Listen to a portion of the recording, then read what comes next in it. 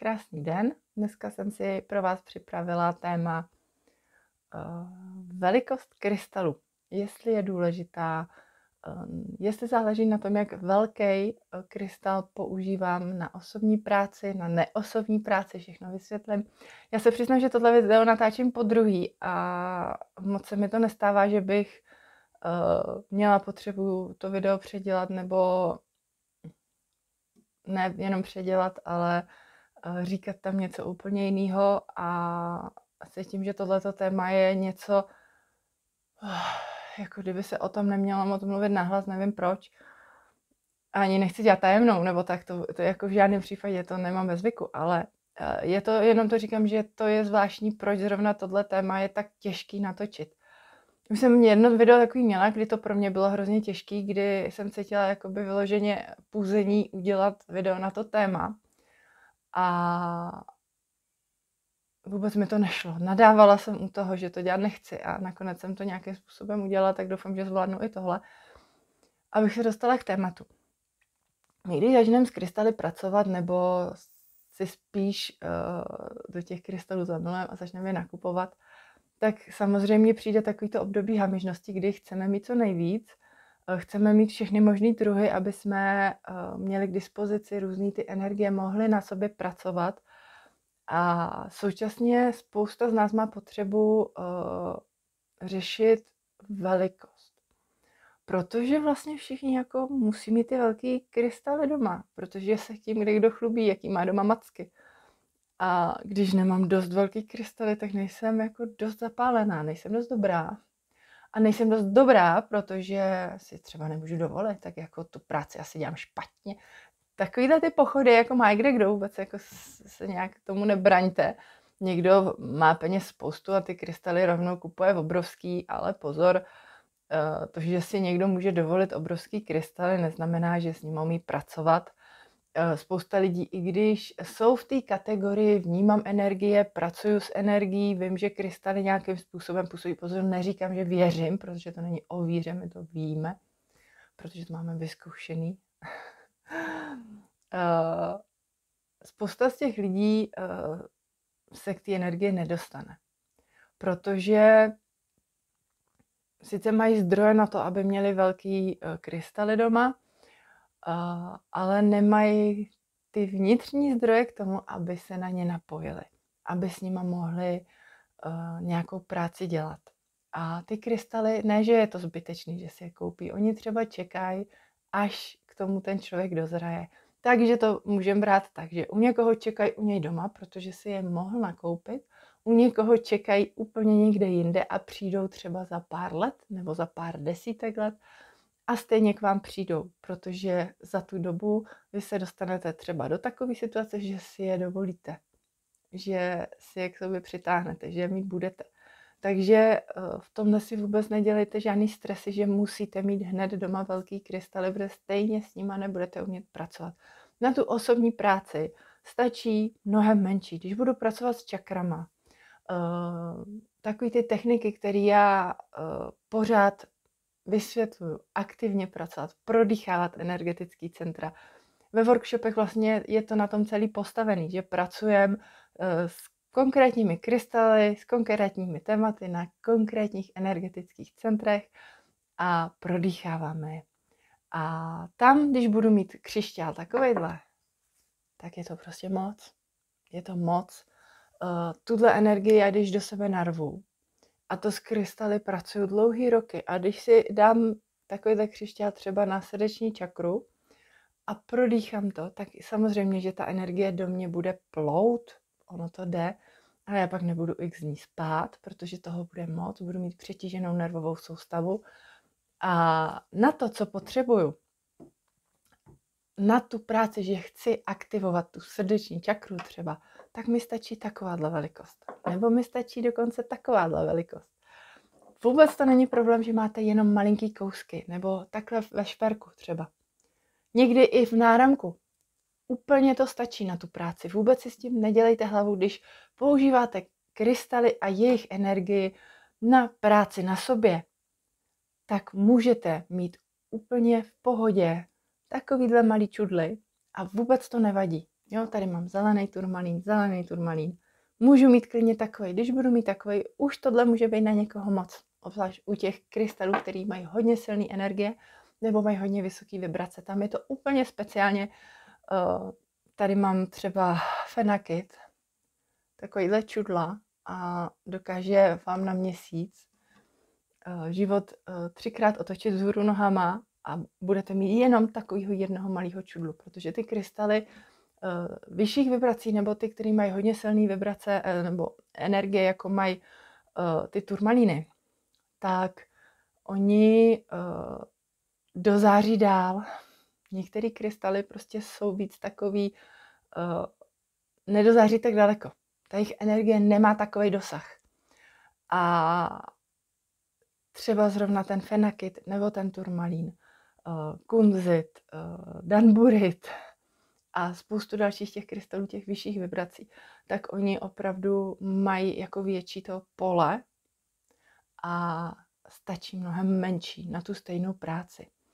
Uh, jo, takže ta osobní práce, kdy já potřebuju třeba aktivovat čakry na hlavě, chci uh, roz, uh, nějak rozvinout uh, svoji inteligenci, jasnozření, uh, aktivovat víc korunní čakru, naučit se víc používat uh, léčivou energii pro uh, rychlejší regeneraci těla, uh, nebo líp komunikovat, zlepšit svý vztahy, prostě cokoliv, tak na to mi stačí ty menší krystaly. To je jedna věc.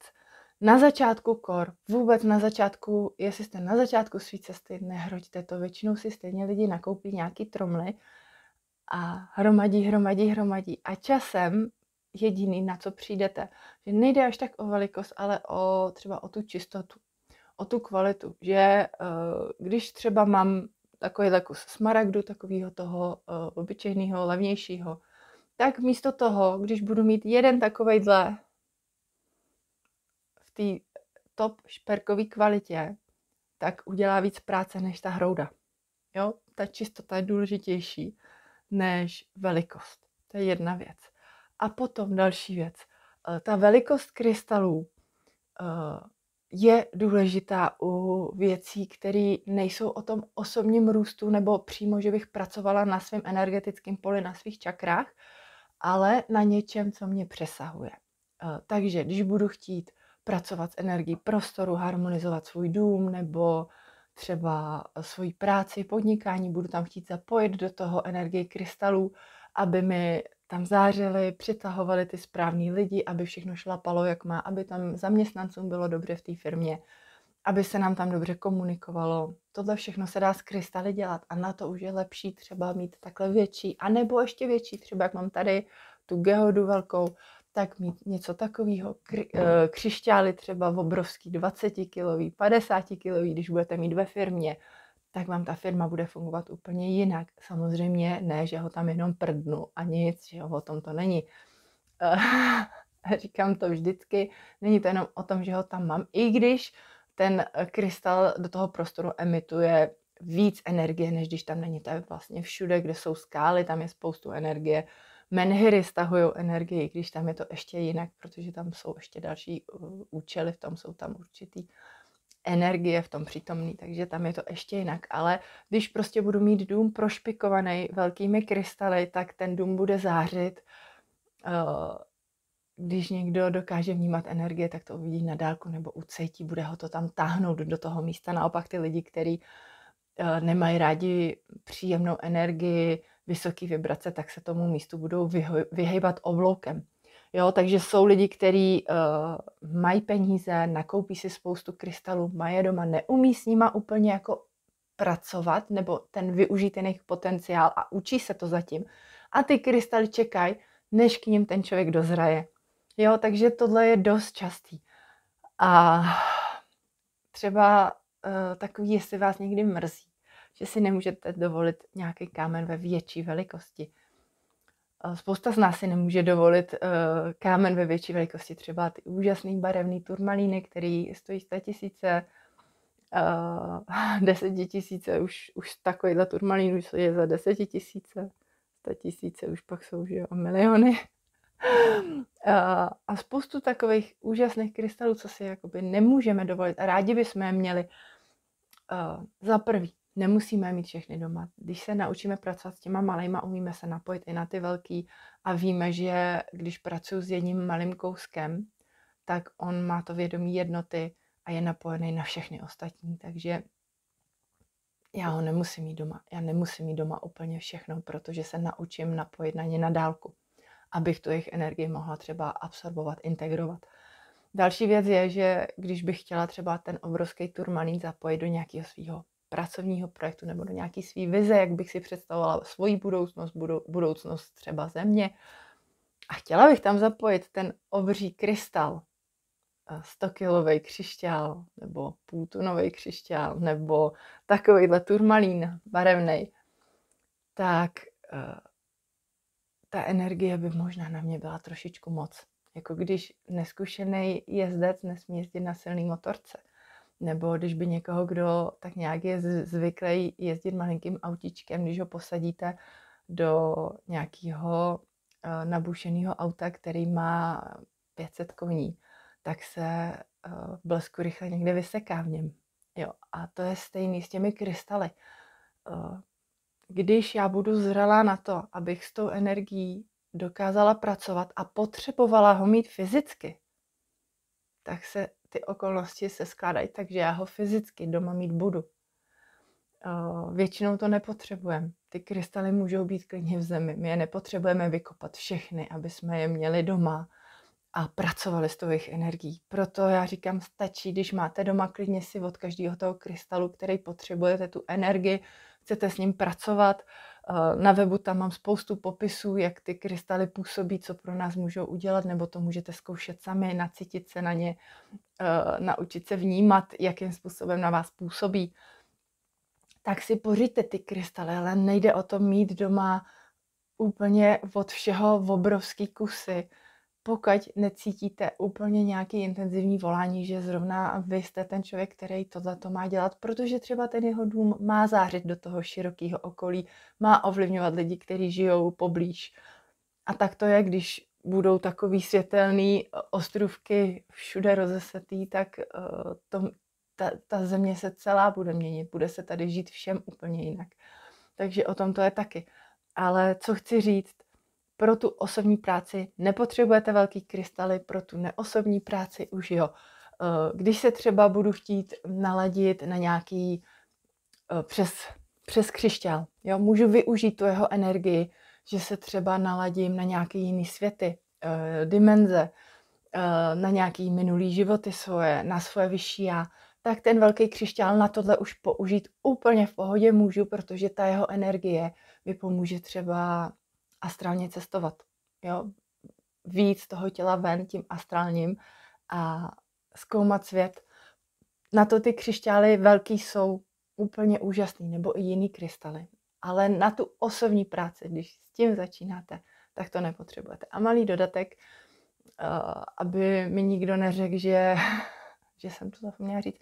Je pravda, že když, když, na, když na to pracovat budete a zvlášť, když budete v mých workshopech, tak zjistíte, že těch krystalů máte doma strašně moc.